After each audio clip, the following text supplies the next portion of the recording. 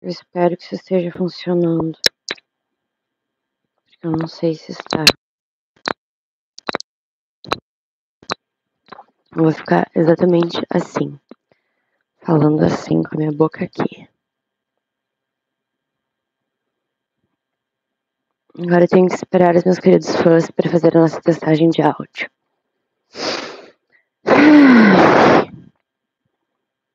É por isso que eu odeio postar vídeo, fazer coisa na internet. Tudo tu tem que parar para fazer alguma coisa, sabe? Não pode simplesmente ligar uma câmera e fazer. Agora vocês conseguem me escutar direito? Não consigo parar de reclamar. Tá bom? Então tá. Tá bom, né? Tá bem bom. Tá bom. Não sei se tá perfeito, mas tá bom. Ai, gente. Bom, eu vou Calma, vamos com calma. O bom de fazer vídeos ao vivo, na verdade, é uma porcaria, mas o bom para vocês, mas o bom é que tem tempo para respirar, coisa que numa edição a pessoa não vê. Ai, ai.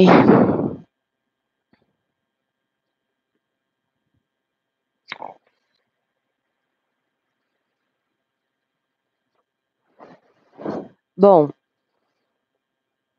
um, a gente, assim, ó, escuta quem conseguir escutar, tá bom? Quem se irritar com algum, algum problema. Vou botar o microfone longe e vocês não vão me escutar. Estão me escutando bem agora? Eu tenho certeza que é melhor quando vocês escutam minha linda respiração. Tá ótimo, tá, tá bom.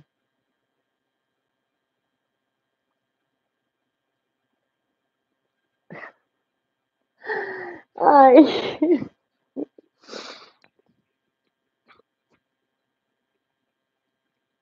Assim está melhor.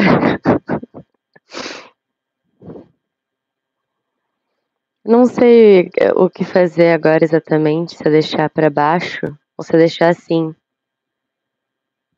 Tá, mil vezes melhor de perto, beleza. Seguinte, galera.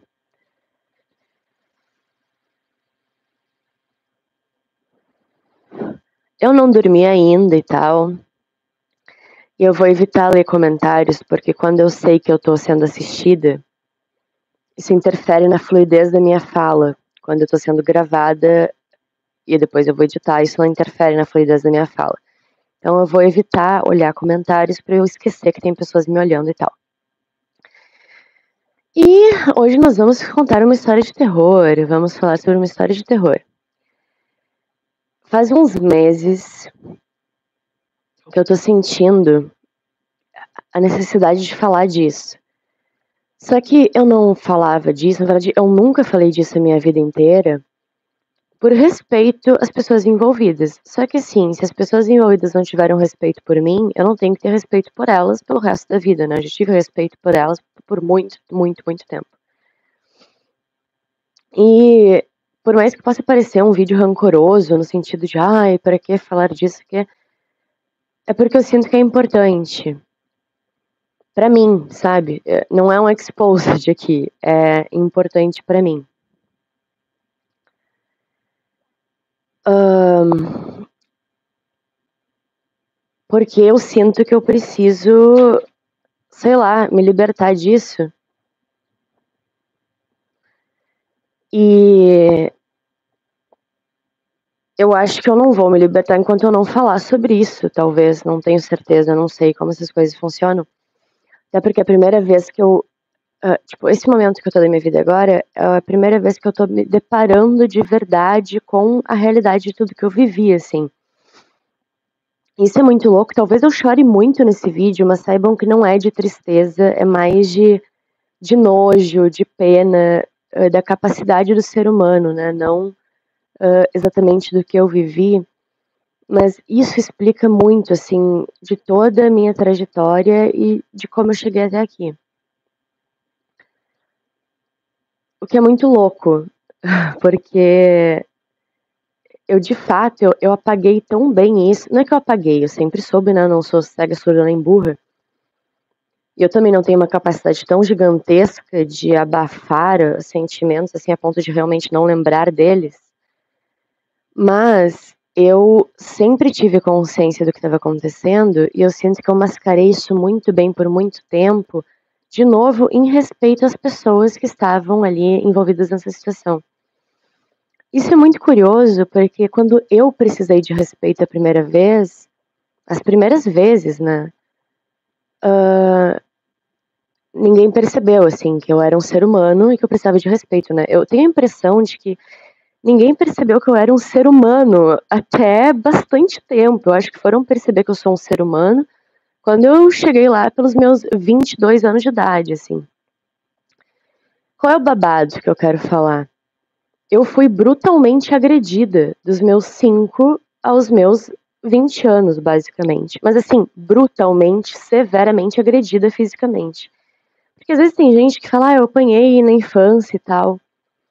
Mas, gente, eu não apanhei, eu fui agredida, eu era violentada fisicamente, tipo, de uma maneira tão absurda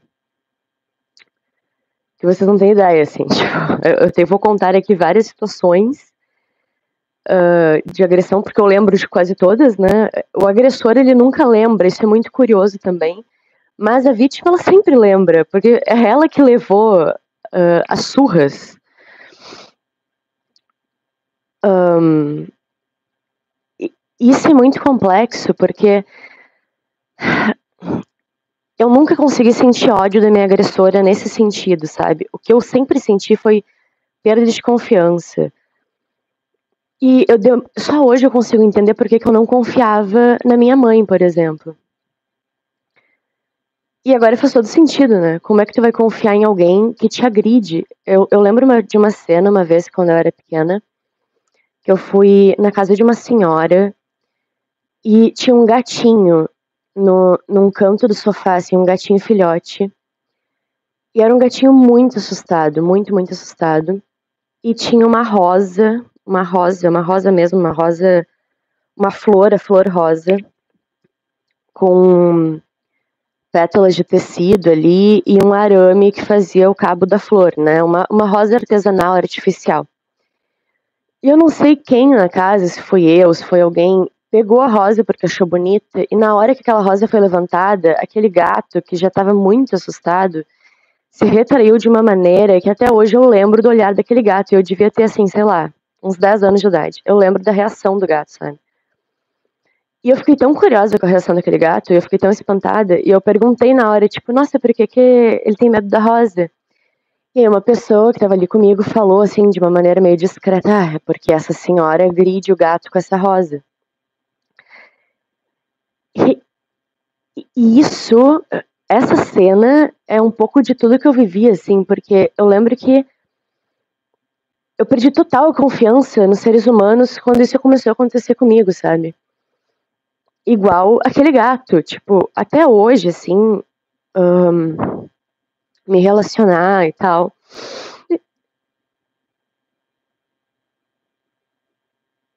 E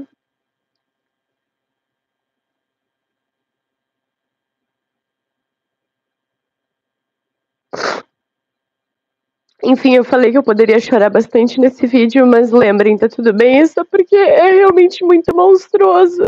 Mas enfim. Um, até hoje, quando o simples olhar para alguém, tipo, o simples chegar perto de outro ser humano me causa um pouco de nojo, sabe? Porque eu sei que todos eles são capazes de fazer exatamente o que essa pessoa fez comigo por praticamente a minha vida inteira. E isso daí que vem bastante, eu acredito, da minha confiança, porque eu sempre pensava como é que uh, a pessoa que me fez Tipo, ela fez uma coisa tão linda, eu saí de dentro dela. Como é que alguém tem coragem de dar a luz e, ao mesmo tempo, maltratar a sua própria cria, sua própria prole, sabe? É tão doentio, é, é tão baixo, é tão bizonho, é tão cruel num nível assustador. um, e hoje eu me pego em situações, muitas vezes eu tô. Eu marco de sair, por exemplo, com familiares. E eu tô crente de que eu vou sair com familiares. E toda vez, uh, sei lá, um dia antes ou horas antes de ter que sair com eles, eu sinto uma angústia tão grande, uma aflição tão grande, e eu começo a ficar, tipo, não, eu não quero, porque eu não quero, porque eu não quero, porque eu não vou, e eu simplesmente não vou. E eu fico pensando se eu preciso ir, sabe? Porque daqui a pouco as pessoas estão morrendo, elas estão envelhecendo. E elas foram tão más comigo, eu fico pensando, eu tenho mesmo que estar presente. Tipo, é óbvio que eu vou chorar muito se elas morrerem, porque eu amo muito elas, mas assim. Eu já me sacrifiquei demais por essas pessoas, entende? É, eu tô num momento que eu preciso me proteger e não continuar me sacrificando por elas. Eu realmente não sei qual é o martírio de ser mãe e toda essa questão. Uh, isso não está em jogo aqui. O que está em jogo aqui é a minha vida, né? Então, nós não estamos falando da minha, uh, da minha mãe. Nós estamos falando de mim e do que eu passei. Porque eu tenho certeza que eu não tenho certeza, na verdade, eu não tenho certeza, mas eu gostaria de acreditar que ela estava passando por maus bocados e que ela estava, tipo, fora das suas faculdades mentais. Mas tudo começou quando os meus pais se separaram. E foi quando eu tinha 5 anos de idade. E uma das coisas mais. Uh, uma das coisas que mexeram muito comigo, e hoje eu entendo, foi que assim que meus pais se separaram, a minha mãe, principalmente, depositou muito em cima de mim, mas absurdamente em cima de mim, toda a carga dessa separação. Tem uma cena que eu lembro, eu lembro, gente, eu era muito pequena, tinha tipo 5 anos mesmo, que era eu rezando com ela para que meu pai voltasse para casa. E assim, tudo bem que meu pai foi um canalha, um cafajeste de estar com vagabunda na rua, ele podia ter feito isso de uma maneira mais inteligente, né? Mas assim, eu não tinha nada a ver com isso. Ela podia fazer a reza dela para meu pai voltar para casa sozinha na sala e eu no meu quarto, como uma criança deveria estar, sei lá, dormindo. Eu participava disso, entende? Então eu participava do vamos rezar para o teu pai voltar. Ela não falava o porquê, mas ela dizia vamos rezar aqui para teu pai voltar, tá tarde, quem sabe ele aparece. E isso era, era um momento muito forte, porque eu não sabia o que estava acontecendo, mas eu estava conectada ali com aquela oração, com as velas, com a chama, com tudo.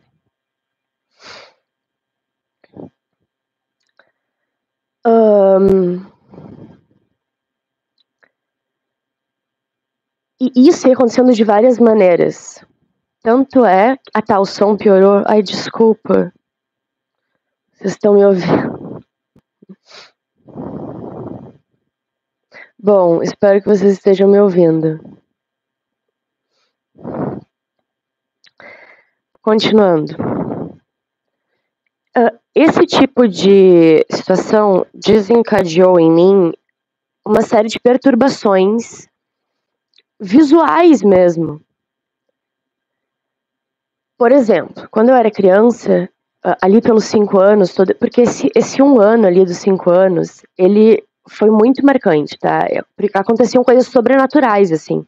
Eu até boto fé que eram sobrenaturais mesmo, gente, porque eu lembro que uma vez eu tava no quarto, eu já contei essa história, acho, pra vocês, mas eu tinha cinco anos, daí eu vi uma mão, eu vi uma mão preta, era um vulto de uma mão preta no, no marco da porta, né? E eu fiquei com tanto medo daquilo e eu chamei os meus pais para eles acabarem com a mão preta. E daí eu acho que meu pai deu uma chinelada, a mão preta sumiu.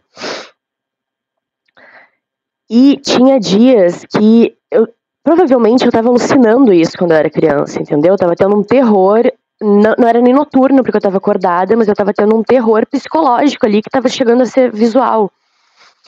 Porque eu lembro que tinha dias que no meu quarto as luzes apagavam e acendiam, o ventilador girava sozinho. E um pouco mais pra frente, quando eu já tava morando na casa dos meus avós, porque quando meus pais separaram, minha mãe foi pra morar na casa da minha avó comigo e tal, eu tinha terror noturno. Eu não sabia o que era terror noturno até entrar na faculdade de psicologia esse ano. E a primeira vez que uma professora falou que era terror noturno, eu falei, meu Deus, eu tinha isso. E era horrível. Eu lembro que quando eu ia dormir com a minha mãe, como as coisas não estavam organizadas, eu dormia na mesma cama que ela. Uh, nesse período, né? de morar na casa dos avós e tal. E eu, eu, eu sempre tive a fiel impressão de que eu via coisas no teto. Então eu lembro que tinha noites que eu via no teto bocas gigantes, cobras, serpentes. É, era tipo uma forma mais cartoonizada, quase como um pesadelo, mas eu estava acordada. E o teto inteiro era dominado por essas cobras, essas bocas, essas serpentes, esses olhos que me olhavam gigantescamente. E uma das sensações que eu tinha era de que, caramba, isso tá muito assustador. Tipo, para mim tava muito assustador. Só que eu sabia que se eu falasse para minha mãe, eu queria ir no banheiro, aí que tá. Eu, eu, olhava aquilo no teto e eu queria ter coragem de sair da cama para ir no banheiro. Só que eu tava com medo de ir até o banheiro, porque eu tava vendo um monte de bicho no teto. E aí eu lembro de ter o medo de acordar ela para precisar ir no banheiro, né? Porque eu precisava de ajuda, eu precisava de acolhimento, eu precisava de alguém que me levasse até o banheiro. O banheiro era do lado do quarto, do lado do quarto, né? Só precisava que uma adulta levasse uma criança até o banheiro.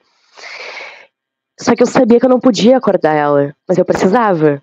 E por que, que eu sabia que eu não podia acordar ela? Porque ela sempre foi louca, né? Eu já tava sendo agredida. Como é que eu vou acordar minha agressora? É que nem tu tá, tipo, sei lá, num campo de concentração e tu precisar da ajuda do cara que tá ali acabando com a tua raça, sabe? E daí eu, eu, eu tinha que acordar ela, eu acabava acordando ela. E eu apanhava até o banheiro, tipo assim, três da manhã, eu com a bexiga explodindo, vendo um monte de bicho no teto se eu não me engano, a primeira vez que eu apanhei indo até o banheiro foi porque eu contei que eu vi coisas no teto. Aí eu aprendi a parar de contar. E era tanta agressão que eu tinha sonhos com ela. Então eu lembro que eu tinha sonhos muito lúcidos, aí sonhos mesmo, quando eu tava dormindo, pesadelos, na verdade. Teve um dia que eu tava dormindo na cama da minha avó. Uh, era noite já.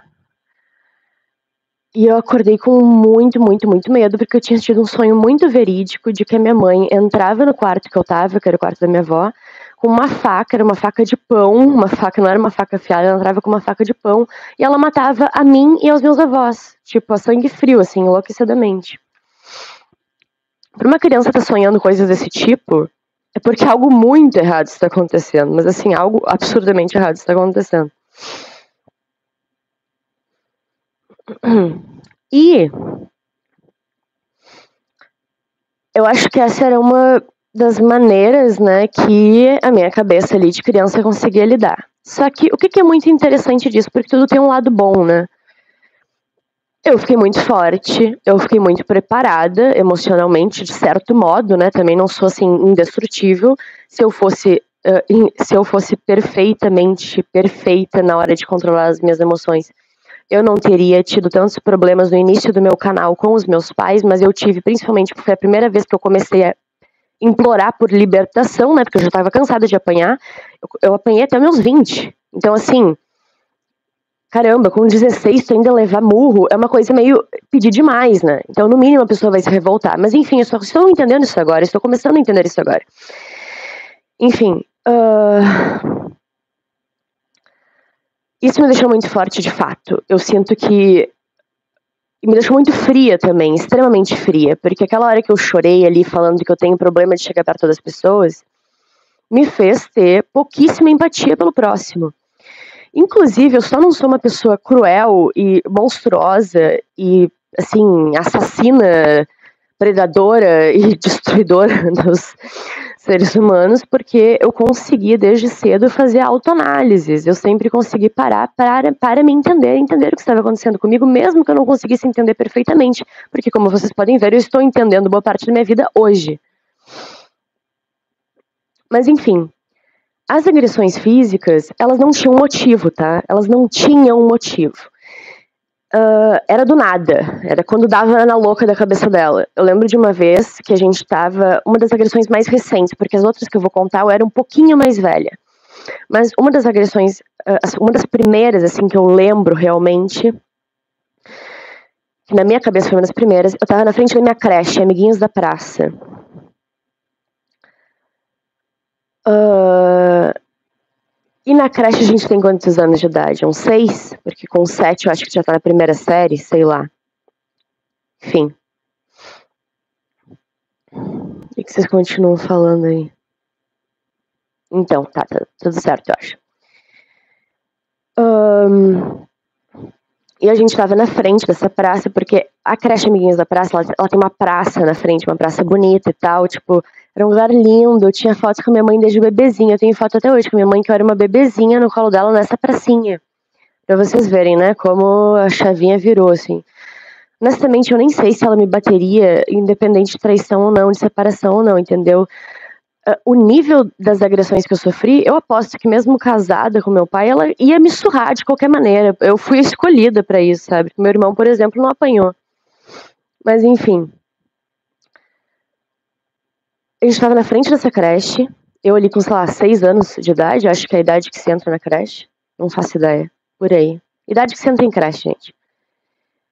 E ela tava fazendo alguma coisa com o meu corpo. Eu não sei se era me beliscar. Só que assim, eu sabia que eu ia apanhar. E daí eu só lembro de falar: por favor, só não bate no meu rosto, porque as pessoas vão perceber.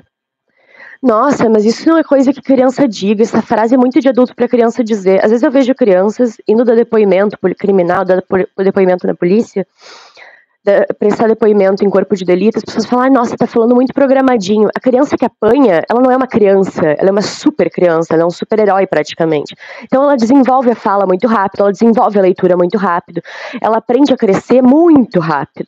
Então ela consegue falar como adultos, ela consegue ser precoce com facilidade. Porque tu tem que ter muita estrutura psíquica para lidar com o que está acontecendo na tua vida. E aí eu lembro de falar pra ela, por favor, só não bate no meu rosto, porque as pessoas vão perceber. Porque é uma humilhação, né? É uma humilhação tu tão nova saber que tu provavelmente é uma das únicas pessoas na tua volta, uma das únicas crianças na tua volta que apanha da própria mãe, porque eu não morava na vila, eu estava numa creche cara, de crianças riquinhas. Então, assim, é meio bizarro tua mãe que tem instrução, tem boa formação, tem um bom emprego, fazer isso contigo, mas tudo bem. E aí ela olhou para mim e falou, e me deu um murro na cara. Ela olhou para mim, ela me deu um baita tapa na cara e falou: não me importa o que vejam. Tu mereceu. Ok. Essas coisas eu não berrava, eu não pestanejava, eu acho que eu aprendi a apanhar em certo período ali, porque honestamente hoje a visão que eu tenho disso é que desde muito nova eu entendi que ela precisava mais de mim do que eu precisava de uma certa ajuda naquele momento. Vocês entendem? Eu tô tentando traduzir pensamentos muito de criança assim para cá. Então é óbvio que hoje em dia eu tô botando uma linguagem adulta e um raciocínio lógico mais adulto, né? Mas eu, desde muito nova, eu tenho a impressão de que eu cheguei naquela família, na minha família, meio que assim, pra de fato ser o saco de pancadas e uh, a válvula de escape dela, assim. E eu sempre amei muito a minha mãe. Ainda amo, né? Uh, por isso que é tão difícil ver ela hoje em dia, porque por mais que eu ame muito, é uma coisa muito complicada de lidar.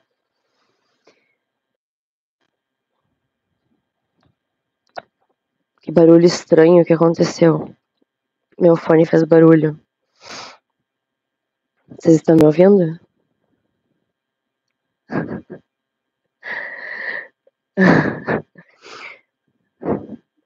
Eu ainda não vou ler vocês, depois eu leio vocês, senão eu vou me perder. Mas assim, foram acontecendo de várias maneiras. E uh, uma outra coisa que ela fez foi alienação parental. Ela não, ela não entende isso. Eu também não entendia isso, eu também fui entender isso no curso de psicologia. Eu entendo que, assim, gente, psicologia é um curso que exagera, e a psicologia em si é meio exagerada, mas tem coisas que eles têm razão. E assim, sem perceber, eu entendo, porque é muito difícil para uma mulher que está passando por tudo isso não passar isso para os filhos. É quase impossível, tá? Mas assim, ela fez ali uma alienação parental. Tanto que por muitos anos eu entendia que o motivo. Ai, eu entendia que o motivo da minha depressão, que o motivo da minha angústia, que o motivo da minha tristeza era por conta da separação. Isso foi colocado na minha cabeça, sendo que o motivo disso tudo era eu estar apanhando, dormindo com o inimigo, porque eu dormia e acordava no mesmo apartamento da minha agressora. Mas hoje eu penso muito assim: quem é pior nessa história? É a agressora ou meu pai, que sabia que eu era brutalmente agredida e não fez nada em relação a isso? Ele simplesmente pegou as coisas dele, foi morar com a nova esposa, fez um novo filho e falou assim: ah, querida. Tipo assim, ele falava às vezes, né? Tu não pode bater na Heloísa, tu não pode bater na, na criança, tu não pode bater nela. Eu escutava isso. Mas assim, falar tu não pode bater não resolve nada. Então, eu não sei também até que nível ele sabe a gravidade das lesões que eu tinha. Ela me batia com um fio de ferro de passar roupa. Eu acho que meu fone tá ficando sem bateria. Uma vez, dentro do banheiro, ela tava me dando banho, no box do banheiro, assim, no chuveiro. Estava nua, né? Estava tomando banho, uma criança tomando banho. Devia... Aí eu devia ter no máximo uns nove, no máximo uns nove. Eu já tinha tanto medo dela, gente. Eu tava que nem aquele gato assustado, o gato da rosa que eu contei. Eu tinha tanto, tanto, tanto, tanto, tanto medo dela. Que eu não sei porquê. Essa cena eu nunca vou esquecer, assim.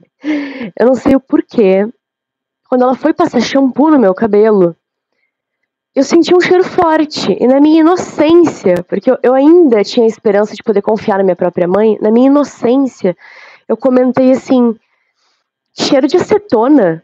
Isso bastou para ela pegar o tapete do banheiro, esses tapetes transparentes de banheiro, e me, assim, me surrar inteira com o tapete do banheiro, aos berros, dizendo como tu ousa que ela seria capaz de passar acetona no teu cabelo. Tu acha que eu sou louca? Enquanto ia falando isso, era aqui, ó, chicotada. Juro, eu toda vermelha, eu ficava com vergonhas, eu tinha vergonhas, eu tinha vergão, sabe quando a pele incha? Eu tinha vergão de ferro de passar roupa, eu tinha vergão de tapete de vermelho, de tapete de banheiro. Imagina tu nua, nua, uma criança nua, despida, vulnerável, levando tapetado de banheiro. E aí, eu lembro quando eu já estava mais velha, a gente ia pro Clube União, né, clube de piscina, e ela não entendia por que, que eu não queria me trocar na parte ali social do vestiário, por que, que eu sempre queria me trocar na cabine. Caramba, eu não quero mostrar o meu corpo que já foi surrado pela pessoa que deveria me defender para mais um monte de mulheres. É por isso que até hoje eu tenho nojo de mulher. Eu tenho, no, eu tenho nojo de mulher, gente. Eu tenho nojo, eu tenho pavor de mulher. E é por isso. Enfim. Aí, uh, é, sabe, é, é, tão louco isso. A pessoa. Ah, enfim. Eu vou pegar só o carregador do fone rapidinho. Não, eu não consigo carregar esse fone enquanto eu falo. Ai, sei lá. Não sei também se é a bateria, porque geralmente a mulher fala comigo quando a bateria tá acabando. Uh, teve uma outra cena muito marcante, assim, para mim. Foi uma que o meu irmão entrou na frente para me defender. Isso, nossa, dá muita vontade de chorar. Eu vou olhar para cima para não chorar, que a lágrima não vai descer. Mas assim, uh, o meu irmão tem quatro anos a menos que eu, né? Na verdade, ele é de 2001. Ele tem cinco. Não, ele tem quatro. Quatro anos a menos que eu. A gente tinha diferença de quatro anos de idade. Então, assim, eu lembro dele ser muito pequeno, gente. Dele ser, tipo, um nenê mesmo. E eu acho que foi uma vez que, tipo, ela conseguiu espantar um nenê, sabe? Ele já, ele já tava vendo, óbvio, né? Ele via sempre eu apanhar, todo mundo via eu apanhar. E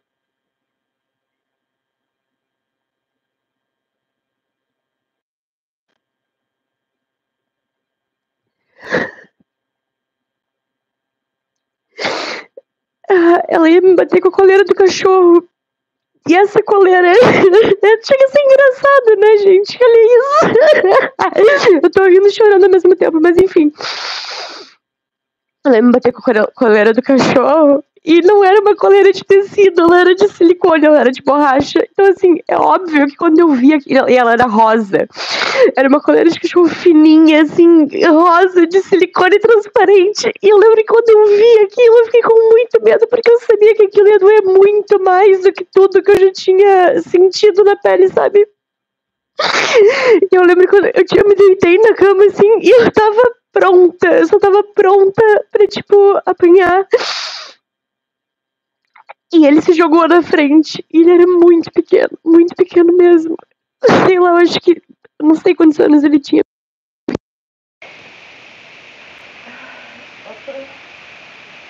Acabou a bateria do fone. Vocês não conseguem me ouvir sem fone, né? Não se vocês conseguem.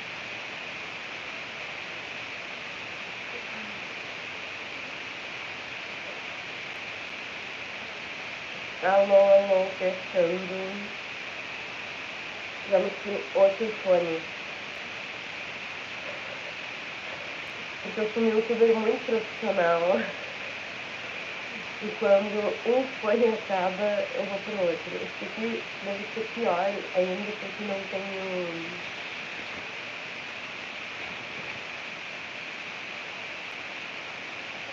Peraí, deixa eu ver.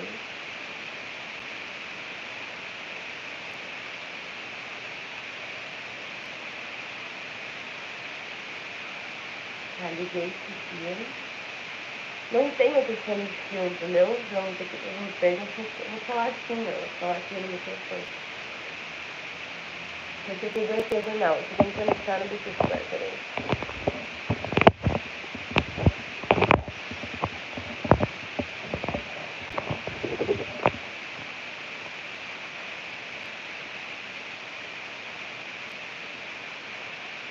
Aí, vou botar pra conectar.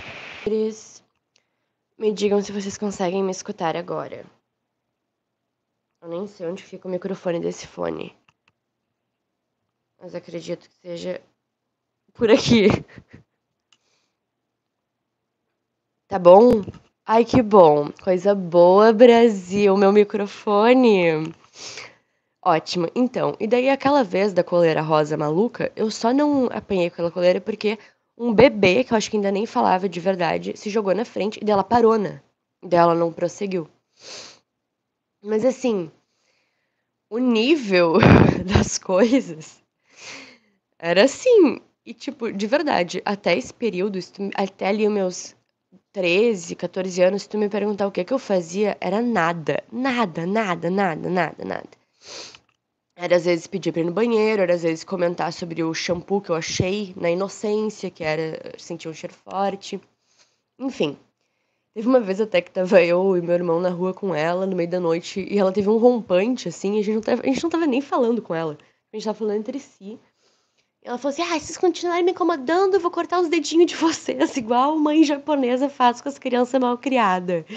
Eu lembro que, tipo, a gente já tava tão acostumado com esse grau de loucura que a gente achou aquilo tão bizonho que a gente se olhou e começou a rir, sabe? Era duas crianças rindo da mãe falando isso pra elas. Mas enfim. Isso é muito triste, porque eu sei que eu tive momentos muito bonitos na minha infância com a minha mãe. Sei, eu sei que eu tive, né? Eu tenho fotos, eu sei que ela era uma mãe muito carinhosa também. Só que eu não consigo lembrar. Eu queria lembrar dos momentos bons, sabe? E eu culpo muito ela por isso. Eu acho que eu culpo mais minha mãe por ter tirado as lembranças boas que eu tive com ela de mim do que por ela ter me agredido, porque eu queria mesmo lembrar das coisas boas que eu vivi com ela e eu não consigo. Não consigo. Eu tento buscar bastante, assim. Quando vem as lembranças ruins, eu tento buscar as lembranças boas e elas não vêm. Eu tenho até hoje a minha cabeça afundada. Isso é engraçado porque talvez as pessoas não acreditem, né? Mas uma, chegou um período que eu comecei a tocar na cabeça de todo mundo. Porque eu sempre fui muito observadora comigo e com meu corpo. E eu sabia que minha cabeça não era assim. Teve uma vez que ela me bateu com um cabo de vassoura. E ela bateu tanto, mas com tanta força, gente. Aquele cabo de vassoura de ferro, sabe? O cabo. Aquele cabo das vassouras, sei lá, betanin. Ele é revestido com plástico, mas por dentro ele é um ferro, um aço. Ela bateu tanto na minha cabeça com aquela merda de vassoura que eu juro pra vocês que eu tenho um eu tenho uma, uma, um, um negócio aqui na cabeça que é mais baixo. Então, tu, e não era assim. Tu passa a mão reto, tu sente um, um desnível, como se o, literalmente o crânio tivesse baixado. E aí, tu desce e volta ao normal. Até com cadeira, até cadeira, ela já conseguiu bater em mim. Dizerem a força dessa mulher, né? Às vezes a gente olha assim o filme fragmentado e tu pensa, não, não é possível a pessoa só de ganhar, entrar na nova personalidade, conseguir, tipo, levantar um carro, conseguir virar um lagarto voador. Mas ela tinha tanto ódio, e isso que eu não consigo entender, de onde vinha tanto ódio. Era um ódio tão grande, tão forte, que ela era muito forte, muito forte, muito forte. Muito forte, assim. Não era um, uma surrinha, não era um tapinha, né? Era, era força e ódio, aquele olhar maquiavélico e tal. E quando eu fui crescendo, eu comecei a parar de aceitar isso, né, gente? É meio estranho, assim, tu tá ali com 14, 15, 16 anos e tu continuar apanhando. Só que o que aconteceu? Nesse período dos 15, 16, que é quando eu começo o YouTube, entrar no, YouTube, ela parou de bater uh, com tanta frequência. E a agressão era de outro tipo. Uh, por exemplo, eu lembro que nada durava na minha casa, assim. Eu tinha alguma roupa, de repente a roupa sumia porque estava rasgada. Eu tinha um brinquedo, o brinquedo era pisoteado. Era uma completa desordem, era muita bagunça sempre, era, era uma zona na casa. Um, mas isso só desde muito, muito tempo também. Eu sempre cresci nessa desorganização, assim. Uh, e eu não conseguia ter coisas, né? Eu lembro que chegou um momento que eu queria decorar meu quarto. Algo acontecia na cabeça dela que ela simplesmente arrancava tudo fora. Ela arrancava quadro. Eu lembro que uma vez eu fui comprar uma samambaia com meu pai e eu queria pôr a samambaia no quarto.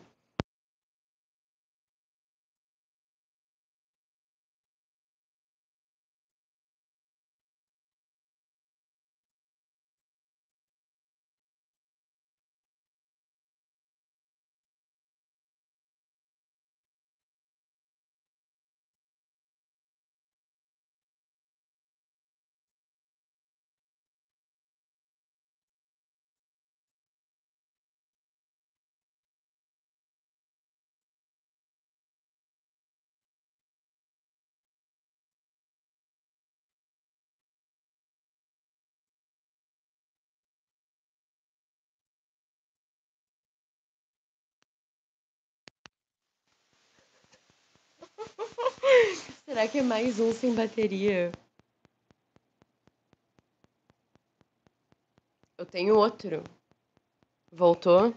Mas eu tenho outro. Você se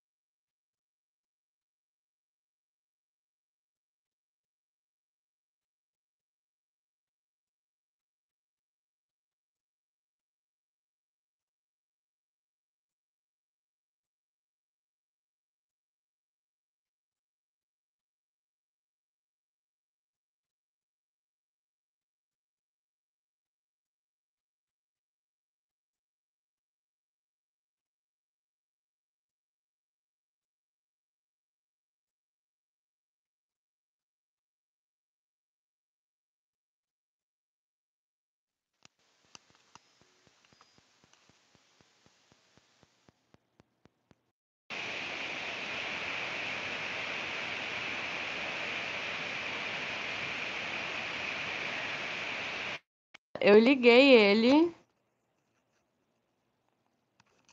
Só que assim, essa mulher aqui não tá me avisando se tá. Eu acho que ele desconecta sozinho, sei lá. Ela não fala nada pra mim. Eu vou pegar meu outro fone, tá? Tem aí, tem aí. Tá, se cair de novo esse aqui, eu vou pegar o outro então. Estão me ouvindo bem? Ai, ai, ai, ai. Já vou acabar essa palhaçada de vídeo, mas enfim. Aí eu já não aceitava mais, né? Então eu não sei até que parte vocês escutaram, meus amores. Só foi censurando. Não, quando ela ver esse vídeo, ela vai surtar, né? Vai chorar. Mas assim, Chega, tipo, já foi legal demais. Eu preciso falar da minha vida. Que culpa eu tenho se ela tá envolvida, né? Não fui eu que fiz ela estar envolvida. Enfim. Mas, um... Tá, comprei essa mambaia lá com meu pai e tal. Que isso? Os espíritos já. E aí, eu queria botar essa mambaia no meu quarto. Normal ter uma planta no quarto, gente. Normal. Ela encasquetou com essa samambaia do início ao fim. Tipo, eu não sei o que ela viu nessa samambaia.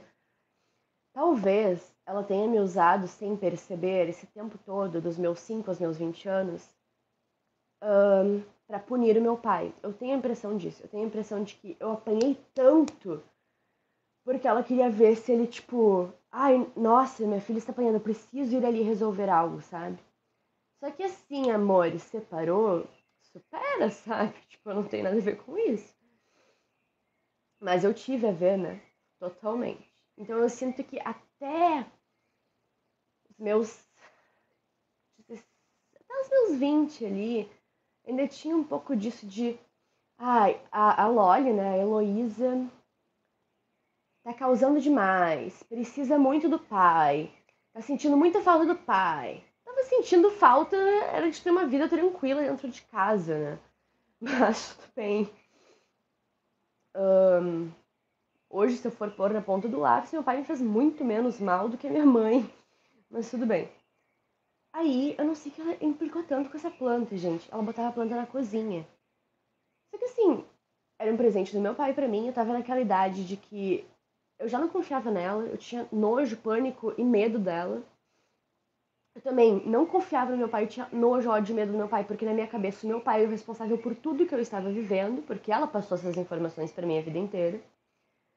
Então, e ainda mais com 15 anos, tipo, caramba, o presente do teu pai, que supostamente é um pai ausente, tipo, ausente, né? Sempre foi um cara super presente, me via todo dia, sempre me deu rios de dinheiro, bancava tudo, sempre banca, banca até hoje, tudo, tudo, tudo, tudo. Tipo, isso é um pai ausente? Não, né, gente? Isso não é um pai ausente. Mas enfim.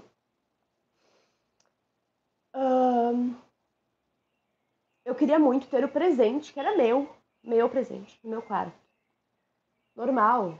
Tipo, eu queria ter uma coisa minha no meu quarto, uma coisa inofensiva. Então eu falei, não, essa planta não vai ficar na cozinha porra nenhuma. E aí que começavam as brigas. Porque eu parei de aceitar tudo. Eu parei de aceitar apanhar e eu parei de aceitar que ela mandasse em absolutamente tudo que ela, como ela queria.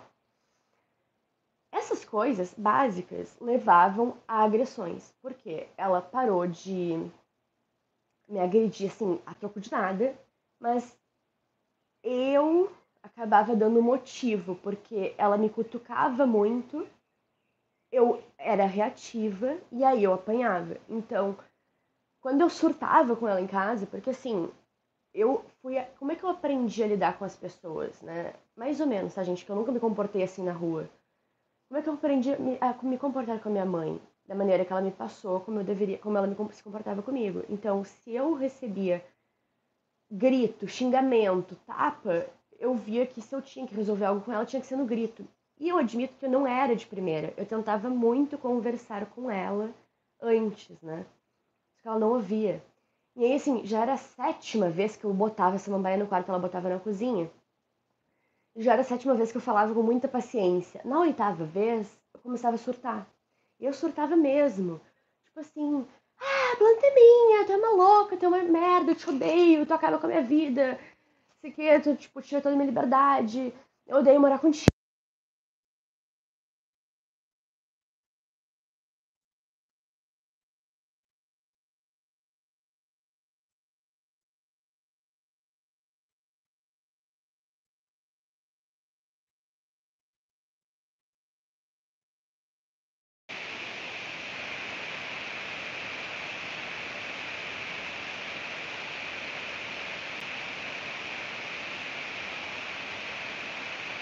Oh yeah, baby.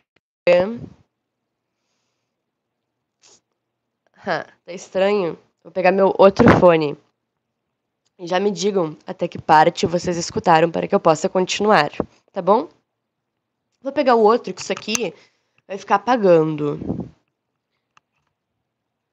Até que parte vocês escutaram?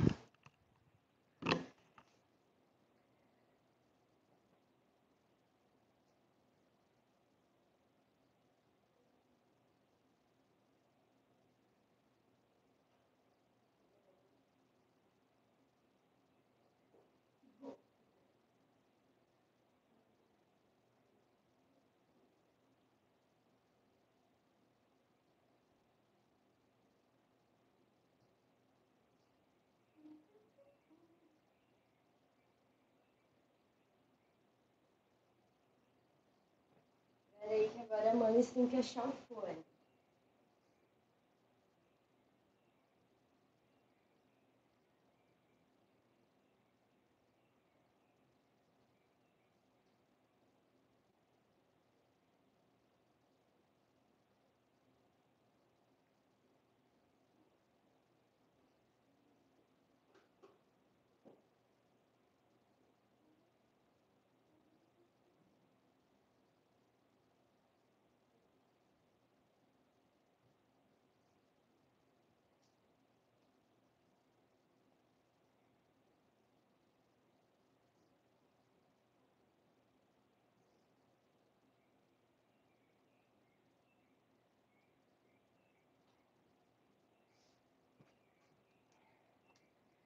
Cheguei. Eu espero que com isso aqui funcione.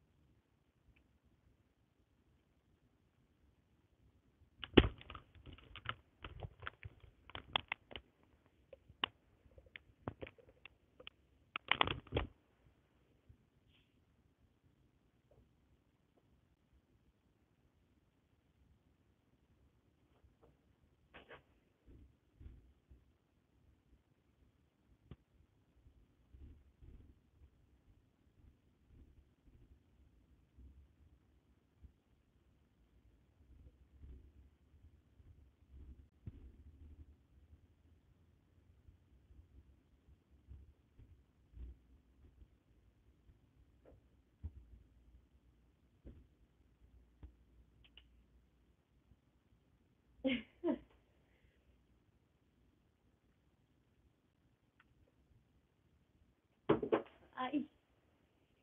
Tá, agora vai rolar.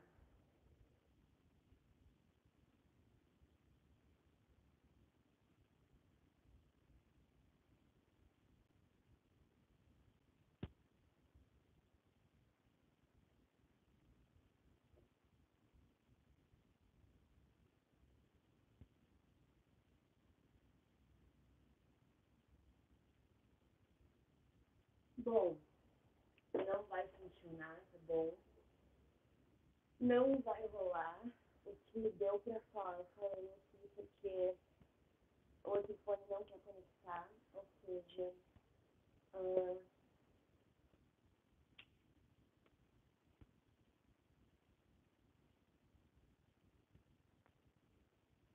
Ai, eu levando um bom humor, né? E fazendo muitos anos, sendo de boa. Uh, então, eu vou ter que sair daqui agora, mas eu vou continuar um dia. O Aldo louco pra saber mais coisas. Mas eu acho que esses fones não funcionam quando eles não estão carregando carregando. Eu vou tentar mais um pouquinho, então, em homenagem ao áudio. Peraí, já vem. Vai pausar a live um segundo, porque eu vou ir lá na aba de conexão do curso, ok? Eu já volto. Um segundo. Me digam se agora deu. Eu tava conectando esse fone aqui em, em outra, tipo, em outro aparelho. Eu tava tentando conectar o meu celular em outro negócio, deve ser de algum vizinho, porque eu não sabia o nome dele mais. Esse fone aqui é meio impressionante, porque assim, eu ganhei ele da. O microfone dele eu não sei se é bom, mas eu ganhei ele da, da AliExpress uma vez. Ele é muito bom. Ele está meio vergonhoso, né? Tipo, usar essas orelhas de gato aqui é um negócio meio complicado, é meio ridículo. Parece mais de morcego em mim, né? Então ficou bonito até. Mas me dá vergonha de sair na rua assim. Ou você acha que eu devia perder a vergonha? Eu fico gatinha ou fico mongolona? Essa blusa também faz eu parecer muito obesa, tá? Mas eu juro que eu não tô. Ai, obrigada. Mas tu sempre me elogia, Bustantanar. Tipo, se de um comentário de um macho alfa como Alder, por exemplo não vai mentir para mim, né? Tu vai mentir porque mesmo que eu esteja horrorosa, o Santonário sempre vai dizer que eu estou maravilhosa. De fato, né? Feio, meio ridículo mesmo. Mas enfim. Um, quero dizer que eu tô muito leve depois de ter exposto tudo isso. estou de fato muito leve, muito bem. Não, não desconectou, né, o meu negócio aqui. Tá bom. Eu sinto que eu precisava pôr pra fora. E tudo que eu lembrar eu vou falar. Só para concluir o bafafá, aí chegava num ponto que quando eu surtava, já virava um negócio muito engraçado, assim, até de filme, que já era uma coisa muito pessoal. Daí eu dizia o seguinte: se essa samambaia não vai ser minha, ela não vai ser tua. Tipo assim, se essa samambaia não vai ser minha, não vai ser de mais ninguém. E aí a samambaia, a pobre da samambaia, era depenada, entendeu? Era coisas assim que aconteciam. É, eu também eu aprontava, mas é que assim, olha, olha tudo que eu passei, né? Como que eu não ia aprontar. Eu lembro que uma vez ela tinha feito um frango de choio lá com meu irmão e tal. E eu não sei, eu não queria comer frango. Eu sei que eu não queria comer frango. Aí eu fiquei tão revoltada com o frango, mas eu sentei na mesa para comer. Então eu lembro quando eu comecei a comer frango, eu tava com tanto ódio daquele frango. E, gente, nessa época, só a respiração dela na mesa me irritava muito. Me tirava de sério, assim, eu tinha nojo, juro por Deus. Essa época dos 15, 16, 17, 18, foi o momento que eu, pela primeira vez, senti ódio real da minha mãe, assim, eu tinha muito ódio dela. E eu lembro que eu fiquei tão revoltada. Eu acho que uma hora ela perguntou assim: ai, gostou do frango? Viu como não tava tão ruim? Eu lembro que eu levantei da mesa e eu cuspi o frango com choro na, nas paredes, na minha mãe, no meu irmão, em tudo. E era eu berrando: eu odiei o frango com choro. E aí as coisas foram ficando assim foram crescendo assim, né? Foram evoluindo. Só que quando eu comecei a agir assim, ela esqueceu tudo que ela me fez, ela apagou da cabeça dela. E aí vinha, vinham os papos de tipo, ai, tu era tão diferente, tu era tão querida antes, tu era tão legal. Ai, o que, que eu fiz pra ti? Tu sempre gostou tanto de passear comigo. Não sei o que eu fiz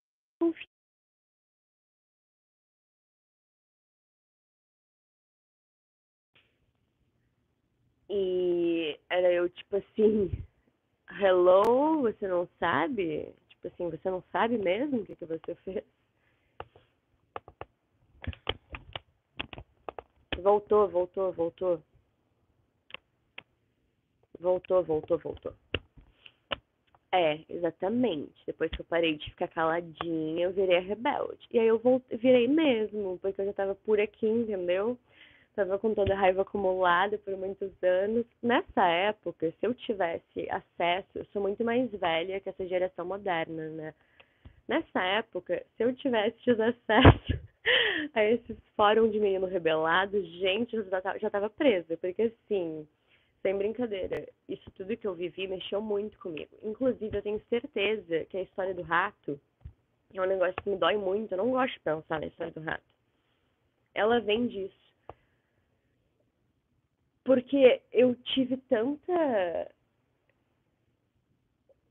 tanta raiva acumulada, tanto ódio acumulado, tanta dor infligida, tanta tanta coisa guardada que eu talvez, talvez eu tenha em um momento de adolescência e rebeldia escolhido pôr num animal inofensivo tudo que colocaram em mim quando eu era uma criança também inofensiva, sabe? Isso é muito cruel. É um dos maiores arrependimentos da minha vida. Acho que é o único arrependimento da minha vida. É uma coisa que, de fato, me noja, me magoa. Eu não gosto de lembrar. Às vezes eu vou ir pôr a cabeça no travesseiro e eu lembro, assim, e dói bastante. Mas eu poderia ter feito muito pior. Porque esse negócio do, do rato, ele já vinha de uma tendência anterior muito problemática. Porque assim, eu lembro que eu já fazia muita terapia porque meus pais eram separados e tal. E eu lembro que mais de uma vez eu tentei para psicólogos diferentes sugerir que eu precisava de uma ajuda um pouquinho maior. Então eu falava assim, eu acho que eu tenho psicopatia. Só que naquela época, a psicologia ela não levava a sério o transtorno de personalidade antissocial, principalmente porque eu era menor de idade. Hoje em dia virou moda, então se tu sentar e falar isso no consultório, eles vão te dar bola. Uh, é que também não justifica, né, gente? Não adianta agora falar, ah, muita gente não te conhece e não entende por que você fez aquilo. É que também não justifica, mas explica, né? Não justifica, mas explica. enfim, uh, muitas vezes eu sentei em cadeiras de consultório e eu falei assim, tipo assim, galera, eu acho que o negócio não é muito normal aqui dentro da minha cabecinha. E achava que era uma bobagem e tal. Então, só que eu sabia que não era. Eu sempre soube que não era uma bobagem. Então eu fui me tratando sozinha. De fato, eu fui me tratando sozinha. Uh, eu tinha muitos impulsos e desejos e quase cheguei perto de muitas situações que eu poderia ter feito mal para outras pessoas, poderia ter feito mal para talvez outros animais, mas eu sinto que minha coisa era com pessoas, assim. É, isso é meio brega de contar quando a gente cresce, mas um dia eu posso fazer um vídeo só falando sobre os meus sentimentos de little psicopata e tal. Eles eram muito fortes, muito reais. Eu escrevia sobre isso, eu sentia na pele a necessidade e tal de fazer coisas malvadas, blá blá. Só que eu fui crescendo, eu fui me corrigindo, fui parando, fui me aperfeiçoando, fui melhorando. Porque Deus me botou no mundo para ser boa. Tentaram me fazer ser má, mas Deus sempre me fez para ser boa.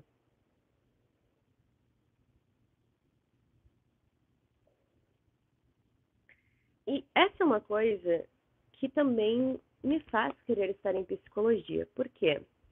Quando eu digo que eu poderia ter sido má, eu poderia mesmo, não estou aqui blefando, entendeu? Então, eu entendo que uma pessoa má sente, eu sei de verdade que ela sente, uh, eu entendo o funcionamento da coisa. E eu sei que isso é controlado. Só que quando ninguém escuta, isso vai crescendo sozinho dentro de ti. E se tu não consegue botar isso para fora de alguma maneira, talvez de novo a maneira que eu tenho escolhido de pôr para fora em certo momento foi com o um animalzinho, essas coisas acontecem, entende? Então, assim, nunca é tarde para.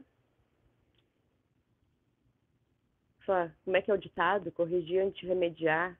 Ai, sei lá, nunca é tarde para intervir em certas situações chega um momento que aí já é tarde, né? Que a pessoa assim, não está em bons lençóis. Mas assim, não existe isso de a pessoa nasceu uma. Ah, ela é psicopata, ela não tem sentimento. Não, não existe isso. Ah, ela é narcisista, ela nunca vai conseguir amar. Não existe isso. Psicologia, psiquiatria não consegue medir amor, não consegue quantificar amor, não consegue um, expor e, e definir o que é amor e como se sente amor e o que é existir amando. Então, ninguém sabe se ama, ninguém sabe quanto ama, ninguém sabe quanto pode amar e quanto pode não amar. Ou seja, pessoas ainda são pessoas, seres humanos são difíceis, mas eles são corrigíveis, eles são, não é nem corrigíveis, eles são aperfeiçoados. Porque às vezes tu tem uma, uma raiva muito grande, um ódio muito grande, e um impulso predatório muito grande, que pode ser transformado em algo melhor, assim, algo mais proveitoso, né? Tu pode botar essa descarga energética em algo que não vai ferir ninguém nem a si próprio. Só que isso é muito difícil de ser uh, trabalhado, porque as pessoas não acreditam nisso.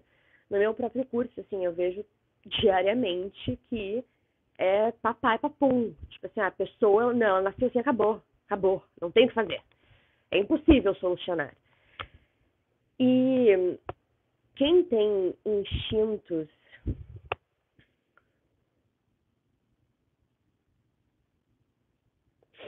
quem tem uh, instintos mais predatórios, quem tem um, desvios de conduta, essas pessoas elas sabem o que elas têm, elas têm essa consciência. Mas elas também sabem que elas não têm a quem recorrer, porque tu vai numa, numa, num consultório padrão aí, não vai encontrar alguém que vai entender esse tipo de paciente, não vai encontrar, é impossível. Quer dizer, deve ter pelo menos um ou dois, né? Mas é como achar uma agulha no palheiro. Então, a pessoa que tem instintos perigosos, ela nunca vai pedir ajuda Tipo, às vezes, vocês podem ver que tem casos que o, o criminoso, ele praticamente implora para ser descoberto, sabe? Tem alguns perfis de criminosos seriais ou criminosos compulsivos que eles são pegos de uma maneira meio ridícula ou eles deixam muitas pistas para trás. E aí tu tenta entender o porquê e é perguntado por quê e meio que se conclui que a pessoa não gostava de fazer o que ela fazia, ela precisava fazer, ela não sabia como não fazer, era instintiva, era maior que ela e ela não tinha quem recorrer.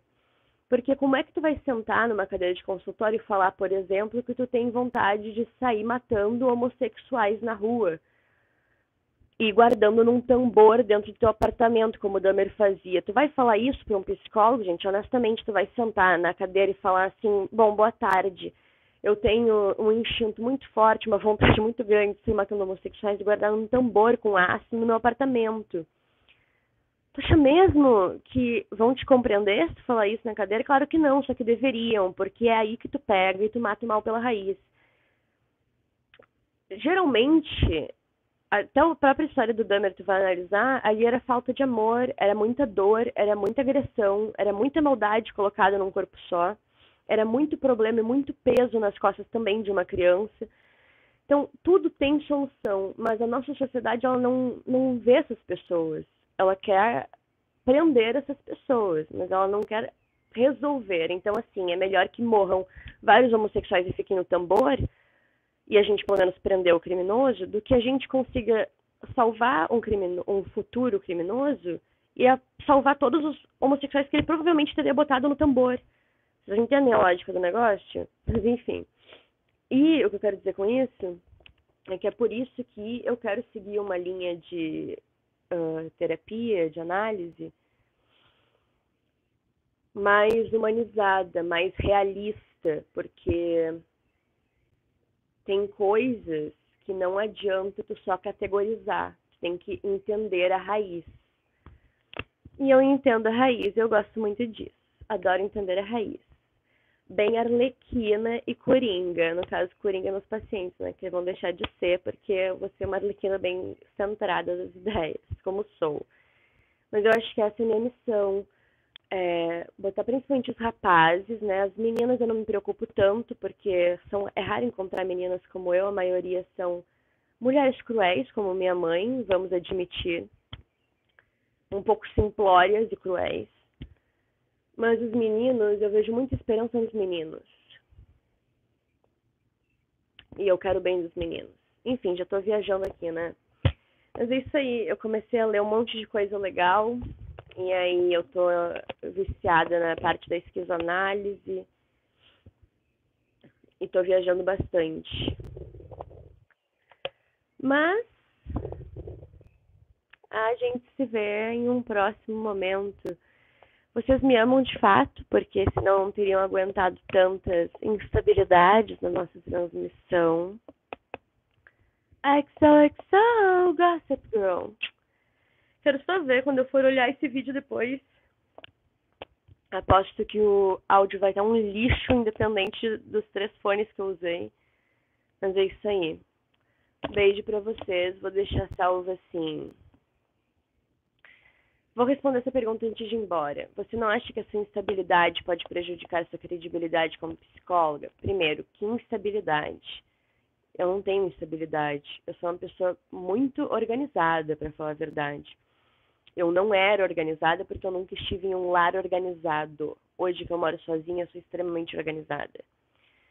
Segundo, esse esse problema de achar que o psicólogo ele tem que ser uma figura perfeita, uma figura uh, quase inalcançável, ele vem justamente da psicanálise e depois das ciências mais científicas, como a TCC. Embora a TCC seja um pouco mais uh, aberta, ela ainda assim também é muito estruturalista.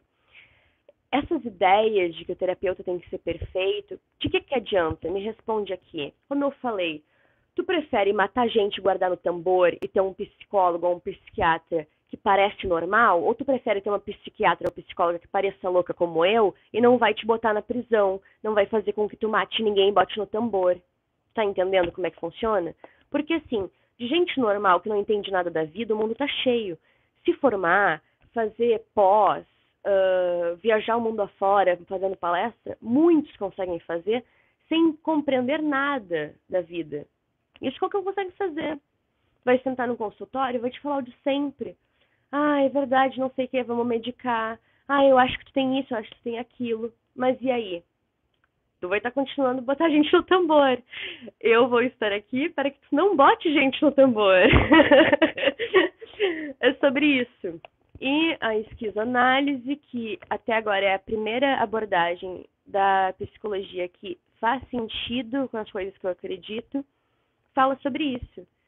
Que não existe doente, existe pessoas, existem seres vivos. Isso não é a Loli mais que está falando sozinha, porque no início do meu canal eu falava isso sozinha. Agora eu tenho Foucault, eu tenho Deleuze, eu tenho Guitarri, Guitarri, sei lá, para me apoiar. Eu tenho três, três, três, sendo que um deles era um psicanalista e largou o barco quando o negócio estava pegando fogo, porque não era louco de fazer maldade. Então, assim, eu tenho nomes consagrados para estarem comigo nessa luta. Eu não sou a única mais. Eu consigo agora dar carteiraço se eu quiser. Então, o que, que essa gente acredita, assim como eu? Não existe bipolaridade, não existe narcisismo, não existe mimimi, minha filha. Tu é tu, tu nasceu livre, tu nasceu aberto, tu nasceu artística, tu nasceu cheia de vida, só que a sociedade quer que tu prenda tudo isso. Então, se tu é uma pessoa que tu não consegue parar no emprego porque tu não nasceu para trabalhar, tudo bem, a gente tem que consertar isso porque tu precisa de dinheiro, mas tu não é uma pessoa doente, tu simplesmente funciona diferente das massas. Tu é um corpo sem órgãos, diferente da maioria que são corpos com órgãos, corpos úteis e manipuláveis. Parece papo de louco? Parece. Tu começa a ler o Antiédipo, tu fala que legal, essa gente é tão esquizofrênica quanto eu. Inclusive, eles usam a palavra esquizo de uma maneira bonita, assim como as pessoas da internet usam. É tipo, ah, eu sou esquizo, amores. Ai, como esse fulano é esquizo. É literalmente assim que esses transpensadores falam no livro. Livro fantástico, leiam Antiédipo, se libertem e parem de colocar gente no tambor, pelo amor de Deus. Beijo para vocês.